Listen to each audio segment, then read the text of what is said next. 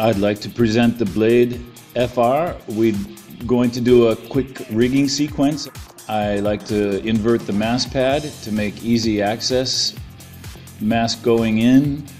Notice we put the mast above all the battens. We don't try to catch the cams. Check to see that the top is in place, which it is. And we've got on the FR an 8 to 1 pulley system for the downhaul. And we're using Spectraline. Combination allows easy application of firm downhaul tension. If we were just having a 6 to 1 pulley system and not Spectraline, I'm not sure we'd be able to rig.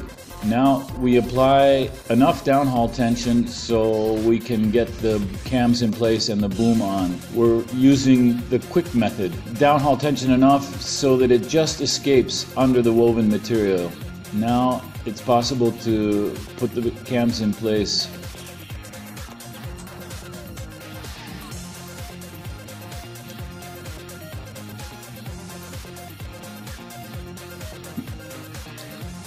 Now that the cams are in place, mount the boom.